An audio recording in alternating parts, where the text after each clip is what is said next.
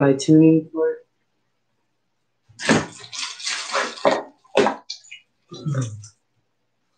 Almost forgot this, baby.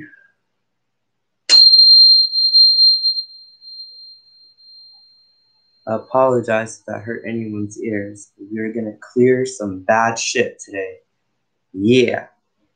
So we're on mantra 31. If you haven't heard of my book, it is on Amazon 33 Master Ascension Mantras and Prayer. Mantra number 31 is From the darkest corners of my soul, I activate the love of the ascended self to heal, transmute, and facilitate my highest and greatest good with the ease the divine envisioned for all creation, including myself, come into being right here, right now.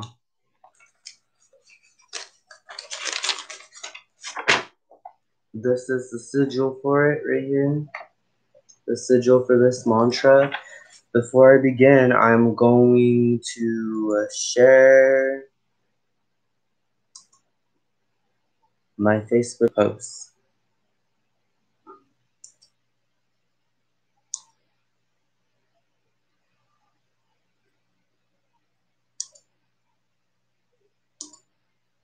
I would be laughing right now if I'm live on the okay, I'm not live on the Killer Witch profile, but I would be tripping if I was because I've done that before. I went live on the YouTube Killer Witch profile once and I started reading my mantras and my fans went there and they were like hell listening. But I loved it. You know, I didn't really mind because uh, my musical fans know that I do this, you know, for my own sanity. So sometimes they join in too. In fact, some of them have bought in this book and they use it. So what was I doing? Oh yeah.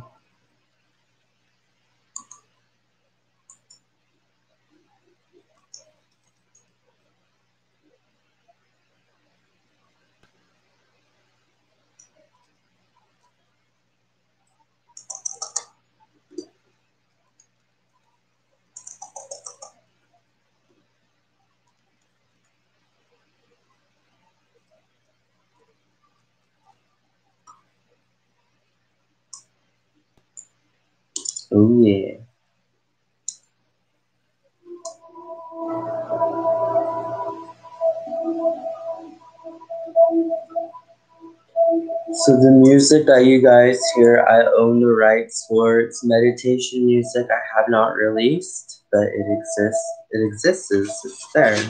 Um, let me see if I can.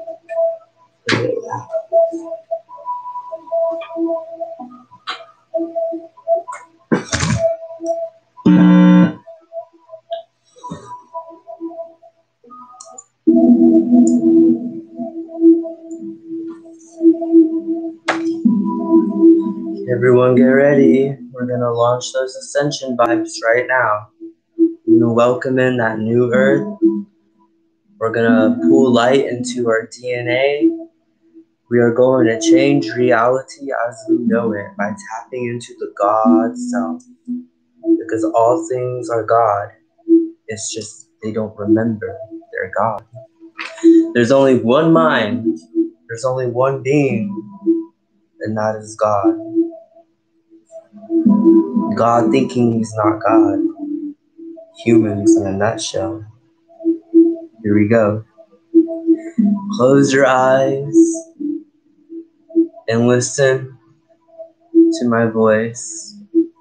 Not so much my voice, but the information. And repeat after me. From the darkest corners of my soul,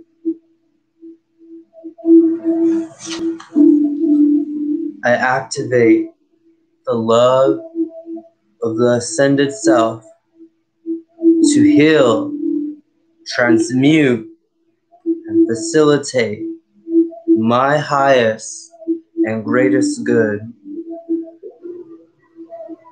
with the ease the divine envisioned for all creation, including myself. Come into being right here, right now.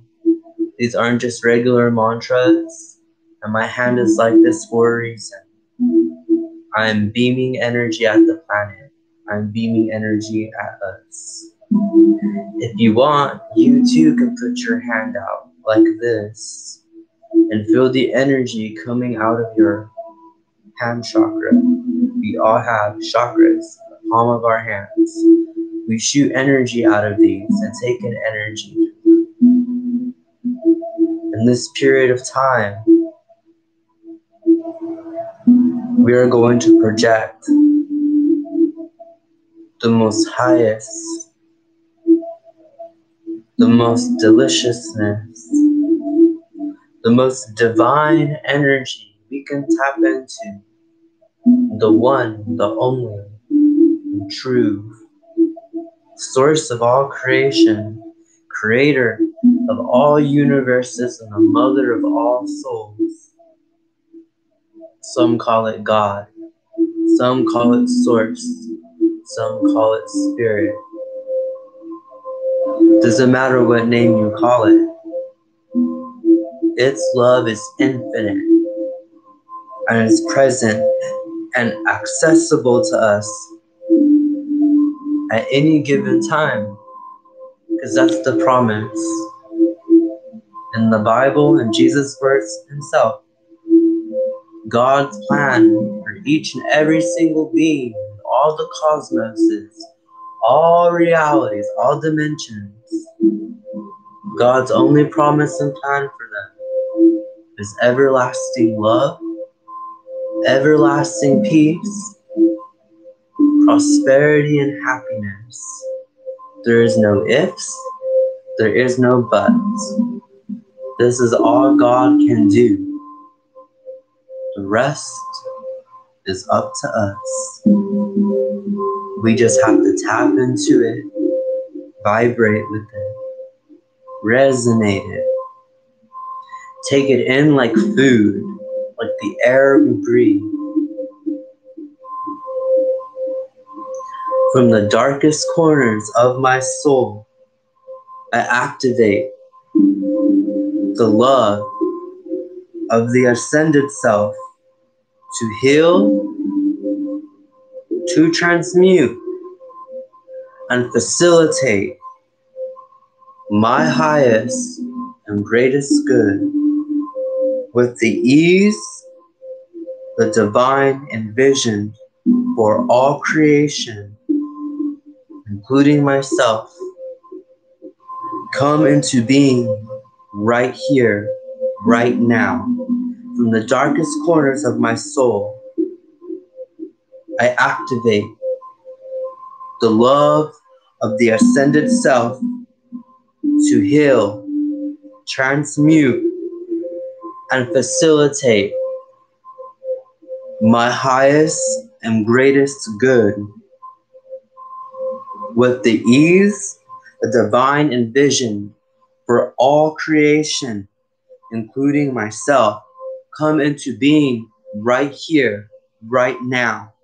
From the darkest corners of my soul, I activate the love of the ascended self to heal, transmute, and facilitate my highest and greatest good with the ease, the divine vision for all creation, including myself, come into being right here, right now.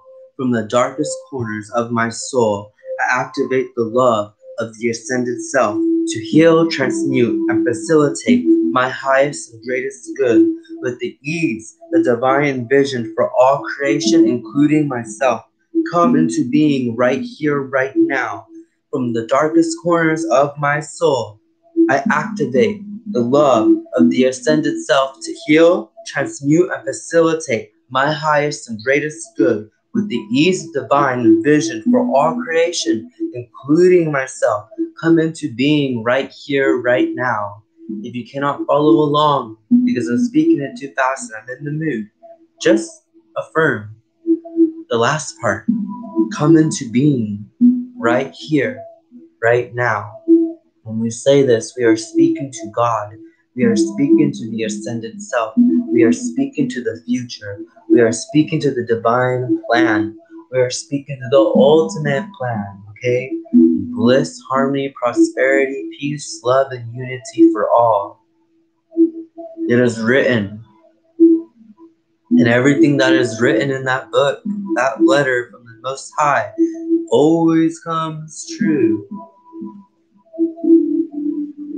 From the darkest corners of my soul, I activate the love of the ascended self to heal, transmute, and facilitate my highest and greatest good with the ease divine envisioned for all creation, including myself, come into being right here, right now. From the darkest corners of my soul, I activate the love of the ascended self to heal, transmute, and facilitate my highest and greatest good. With the ease the divine envisioned for all creation, including myself, come into being right here, right now come into being right here, right now. Lord God, our ascended self, our original form, the only mind that is all minds, come into being right here, right now. Come into being right here, right now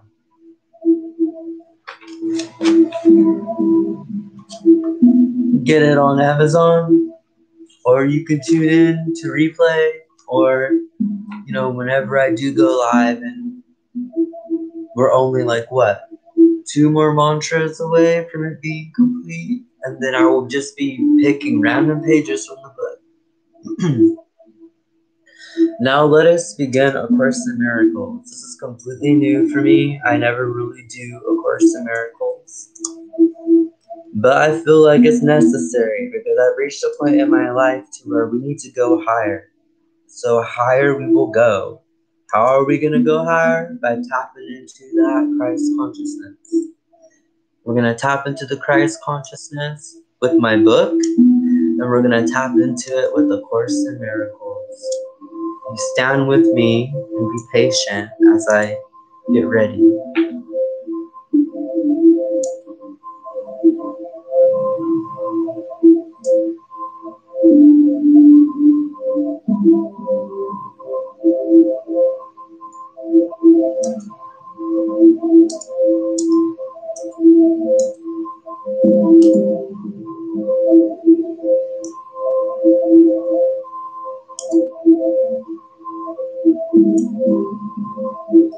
Today's A Course in Miracles is Lesson 151.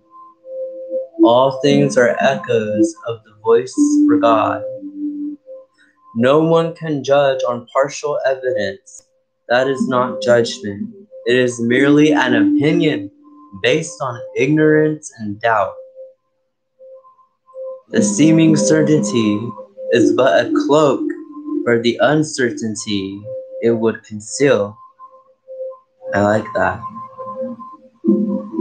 It would conceal. It needs irrational defense because it is irrational and its defense seems strong, convincing, and without doubt because of all the doubting underneath. So we cannot make a decision or judgment with partial evidence, okay? We have to have all the evidence, mean, you must seek to know as much as you need to know, as much as you want to know. So if we don't know it all and we don't have all the evidence and we don't know, how can we judge and why do we still judge? We should not, we probably shouldn't judge. You do not seem to doubt the world you see. You do not really question what is shown you through the body's eyes, nor do you ask why you believe it. Do you even ask why you believe the things you believe? Do you have any evidence to believe the things that you believe? That's just something for you guys to ponder about. That's why I love A Course in Miracles. So do you guys even question why you have your beliefs? Is there any evidence for you guys to have those specific beliefs? If not, it's time to get rid of them and believe in something new and better.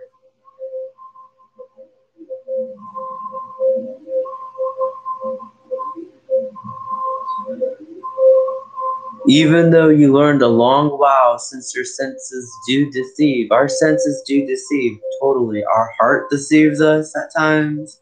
You know, when we get pissed off or in the moment, our feelings can deceive us. We can be led to make irrational choices that come from a place of doubt.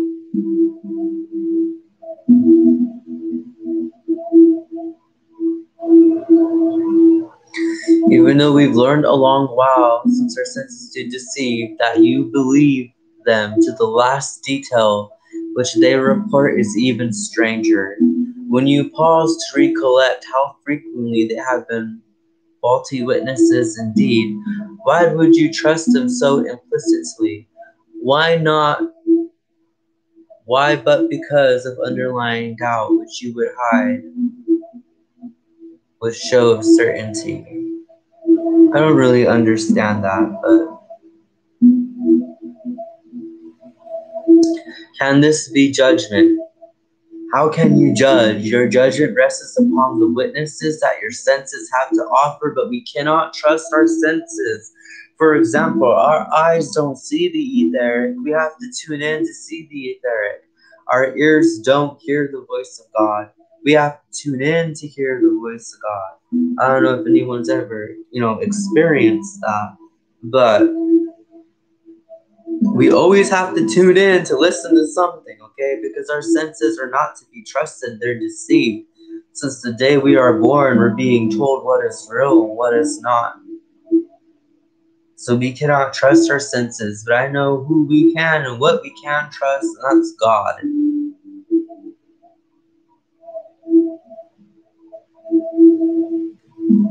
How else do you judge the world you see? You place pathetic faith in what your eyes and ears report. You think your fingers touch reality and close upon the truth. This is awareness that you understand and think more real than what is witnessed by the eternal voice for God Himself. Can this be judgment? You often begin urged to refrain from judging, not because it is right to be withheld from you, you cannot judge. You merely can believe the ego's judgment. So our true self does not judge. That's why everything hurts, because we're not really judging it. But also, we hurt from judging it too. See, we hurt because what we're believing and what we've done is not of our true nature.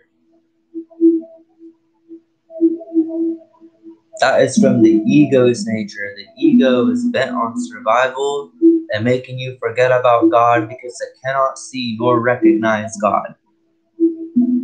The ego doesn't even recognize itself. It can't because it just goes blaming everyone. It can't even acknowledge that everything is a reflection of itself. It has completely edged God out. That's why it's ego. Ego. And if you look at evil and live, they're the same word but backwards. So to be evil is to do the opposite of living. Very much the same thing. Egos of a very similar nature.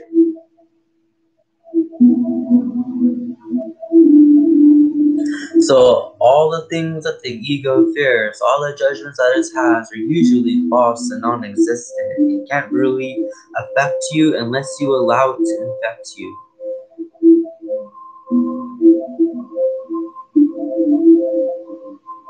It guides your senses carefully to prove how weak you are. The ego is constantly reminding us of our mortality, our habits and addiction to the temporary, the temporal.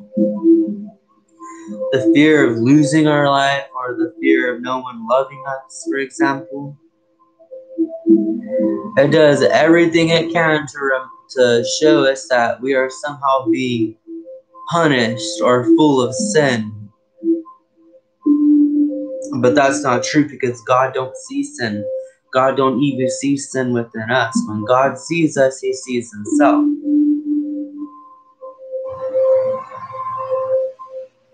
This thing it speaks of would you yet defend and tells you it tells you is yourself. You are not the ego, okay? I promise you. You are not this mortal coil. You are not flesh and bone. You are beyond it. You are God in the flesh, living a completely new life, taking a new path and direction. Not just that, but we have Jesus within us too, because, you know, Jesus is not just human, you know, it was God and human becoming one. God having a human experience. And when all things leave the planet, it imprints onto the life stream of all creation. So whatever Jesus did, some say he died. I personally don't believe he died.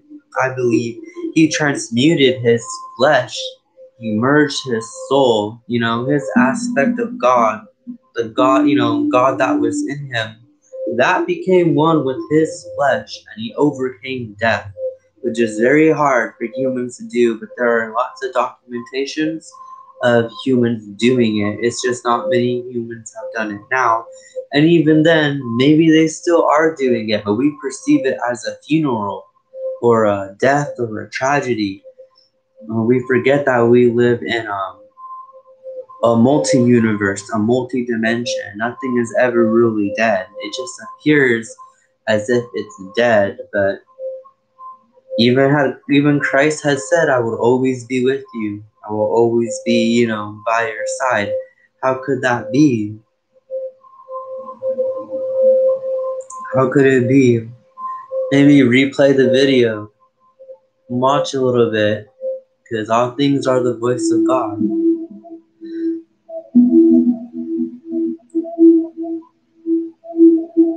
So the ego can only see the bad shit. It can't see the good stuff, okay?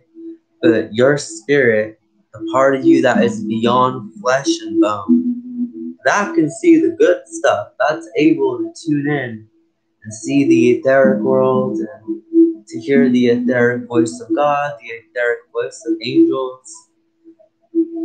You know, the ego can do that too, but it tunes into the lower realms and, you know, the bad things that give us bad ideas the things that like to use us, you know, or influence us to make bad decisions. But see, none of that can affect you unless you allow it, which is why you must develop certain practices and exercises to recalibrate your frequency and electronic signals in your brain and throughout your energy body and physical body. Hear not its voice, the witness it sends to prove to you it's evil and it's false,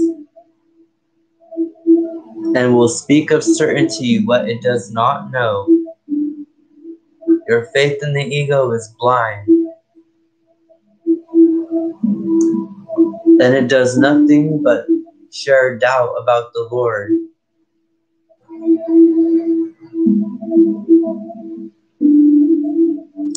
Yet you must learn to doubt the evidence the ego presents you with. And you can only do this by recognizing your true self, that you are a child of God, a voice of God, a representee of God. God in the flesh, a part of God, He gave up to become something that is you.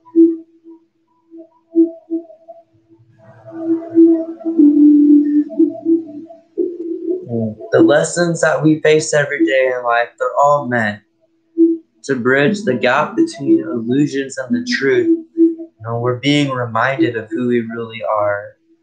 We may get sent to horrible places. We may put face to face with horrible people. But if none of that happened, how would we know who we truly are? How would we become who we are now? The universe is alive and the stimulation, this matrix is alive. And ultimately, it serves only one master, and that is God. And if God is within all of us, then technically it is serving us.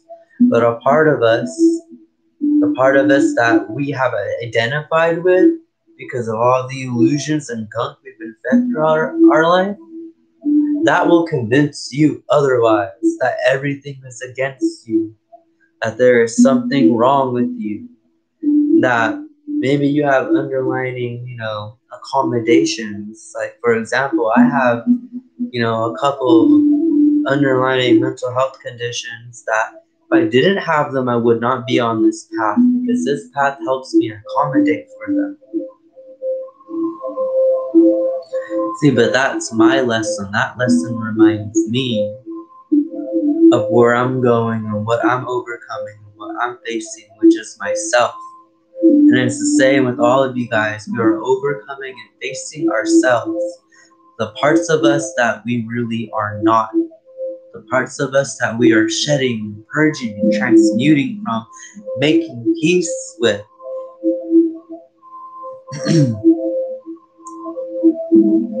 know that this part of you, the Christ and God within you, will remove all the illusions, all the pain, disaster, suffering, and loss. Did you ever stop to think that there's a being up there who has my best interests. There is a part of me that loves me so much that even if I were to die, it would take care of me. And even if I were to be saved, I would know that that force, that love up there, constantly at work. How many near death experiences have you guys had? and some of you say there is no God. Tell you what, God loves us so much, you will let us make our own decisions and walk our own paths, even if they are bad for us, because those paths are going to remind us who we are. Some people are going to feel like shit walking down the path that's not for them. They're going to blame the path and not see the blessing that they're being reminded of who they are and who they're meant to be.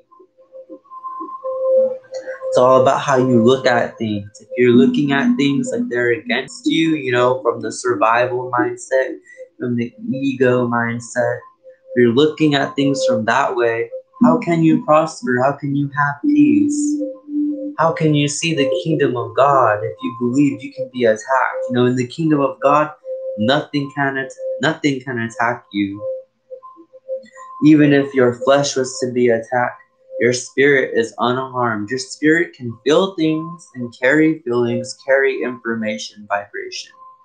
But it's never truly harmed. You think you're being harmed because it feels unpleasant. And if you're feeling unpleasant, then it's time to walk in a different direction. It's time to believe in a new belief.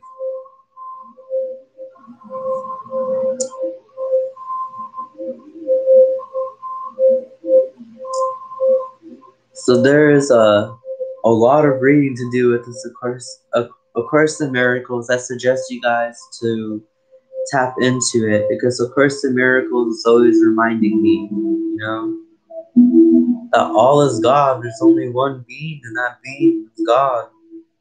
And no matter what happens in this world of illusions, there is only God.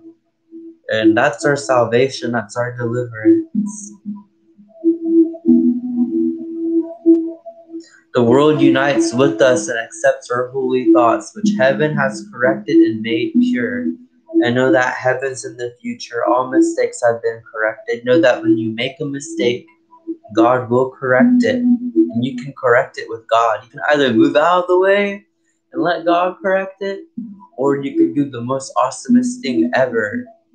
You correct it with God and have fun. And then remember that you are his child, his likeness, his equal.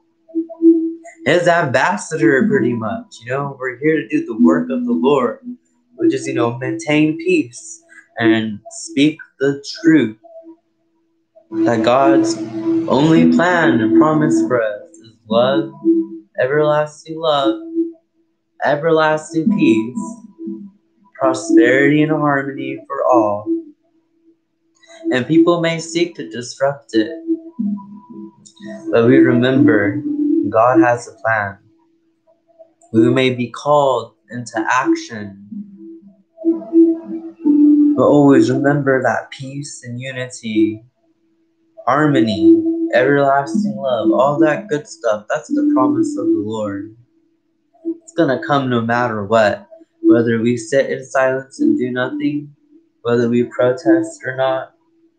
Because let me tell you something the evil of the world is clueless to know that every time it attacks us, it's really attacking itself. Haven't you noticed? Every time our government has done something recently, it has shot itself in the foot. That's because we're living in God's world. Governments like to think they're living in the government's world, but they forget. They forget that the Spirit of God is in the people there is only one master, and that master is God, the universe, the creator of all universes and mother of souls. That's the true master. That's what everything serves, even if it doesn't want it, even if it doesn't want to. It's only one master, and it's your true self, the ascended being, the most high, the original one, the only mind. Alpha and the Omega.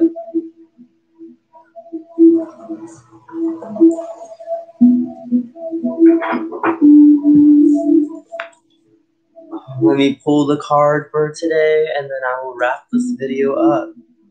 You know, I really hope whoever is here enjoyed it. I hope you come back for more and go on the replay.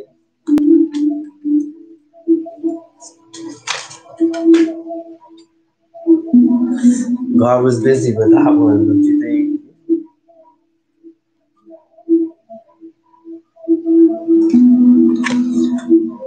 This is what Jesus has to say. This is one of my favorite decks. Jesus is one of my most favorite teachers. Your faith has saved you. Go in peace. whoever reads this, whoever participated, know that Know that your faith always saves you. What you believe in will save you. So if you're believing in the bad, you know, it may save you, may harm you or remind you, you know, to go in a different direction or do a different thing.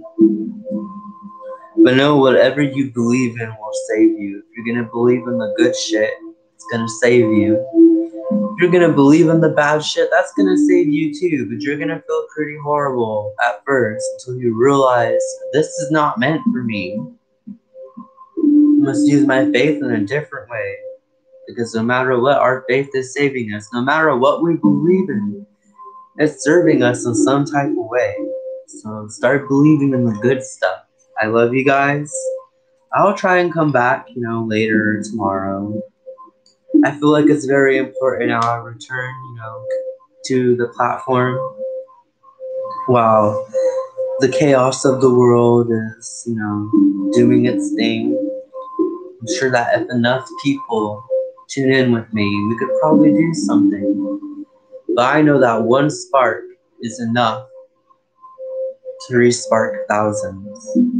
Love you guys. Have a wonderful day wonderful evening on other parts of the world.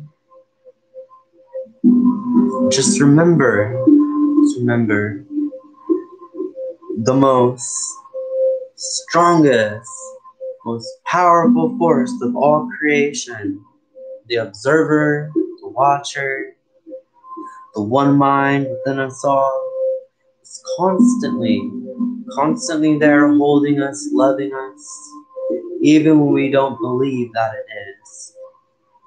Because it has a promise, that one promise I reminded you guys of. And it's not going away, no matter what.